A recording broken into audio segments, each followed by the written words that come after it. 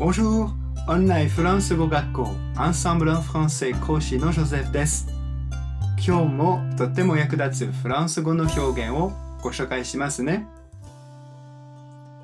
最近は日本でもスーパーで買い物をするときに買い物袋が欲しいかどうか聞かれますよね。私はいつもエコバッグを使いますよ。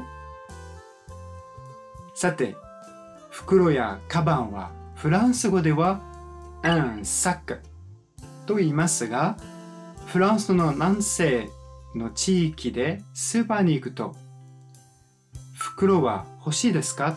を別の単語を使って言うそうですが、ご存知ですか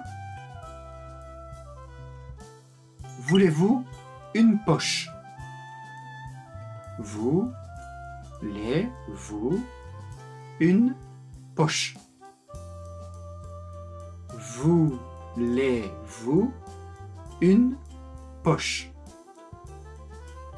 Voulez-vous une poche? Une poche はポケットという意味なので、ポケット欲しいですかと聞かれるそうですよ。フランスの南西の地域に旅行に行った時、ポケット欲しいですかと聞かれたら、買い物袋のことなので覚えておきましょう。さて、もっとフランス語を勉強したいという方は、アンサンブルのレッスンでお待ちしています。Je vous dis à très bientôt. Au revoir.